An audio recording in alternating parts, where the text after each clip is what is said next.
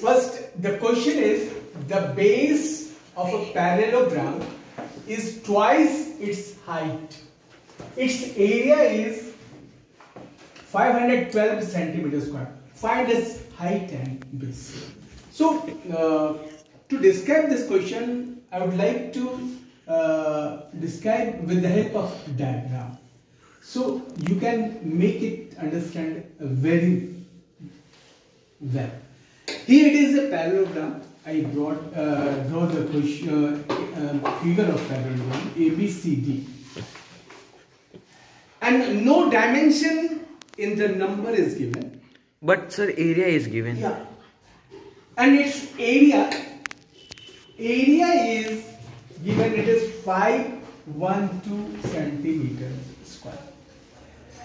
And as per dimension is concerned, only it is mentioned that the base is twice its height. The height is this.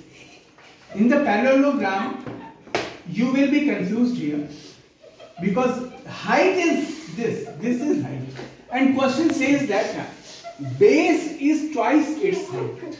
So, and this is the base. Base is AB. And question says that base is twice its height. Means base AB is 2h. 2h. 2 into height. And height is given. So, now we will come to the formula for area of a Parallelogram. parallelogram.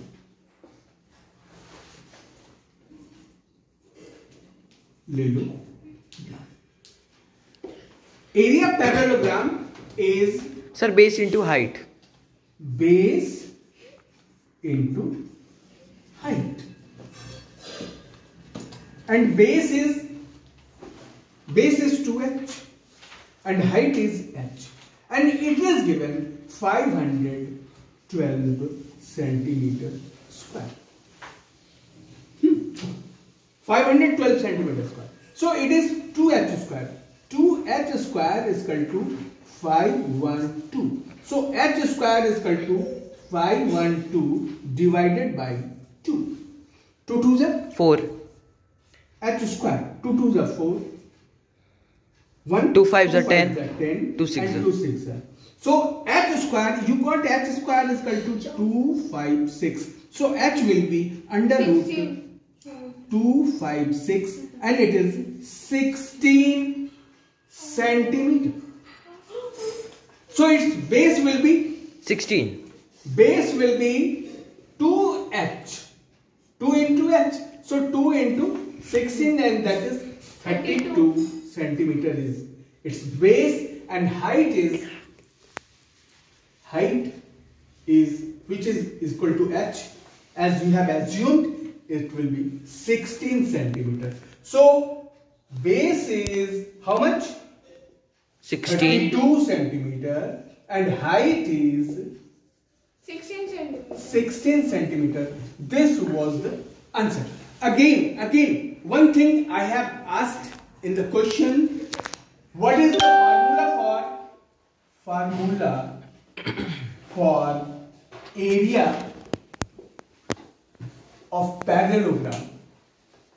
And it is base into height and area of rhombus.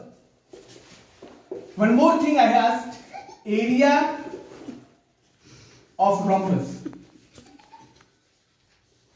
is equal to 1 by 2 into d1 into d2 and d1 d2 are diagonals.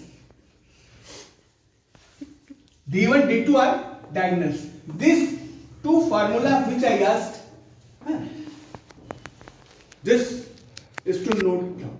Okay.